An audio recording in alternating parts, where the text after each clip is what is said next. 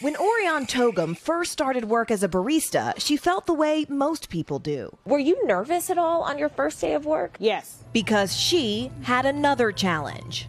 Like more than 5 million adults across the country, she's on the autism spectrum, a condition her new boss understood well. They're the hardest working group of people that I know. It's actually a win win for us. Glennis Harvey owns the Hidden Manna Cafe, just an hour south of Chicago.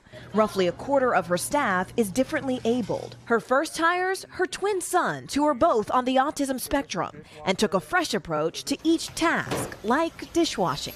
I kind of think of it as kind of Tetris. Like the game, the video game. Yes. Over 70% of autistic adults face unemployment, which is why in the last five years, nearly three dozen bigger companies have tapped into programs to train neurodiverse employees. I work for quality assurance. At consulting company EY, the move has paid dividends. We had these individuals join us and contribute to significantly enhancing and automating a lot of the training. Not only were we able to make the training more efficient, but also more impactful. Meaning, no matter what the day brings for these workers, What would you say to companies who are afraid to hire people who are different? I would say being different is what makes them amazing. There's no risk in trying to give us a shot.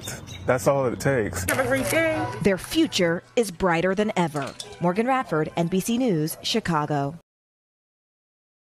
Thanks for watching our YouTube channel. Follow today's top stories and breaking news by downloading the NBC News app.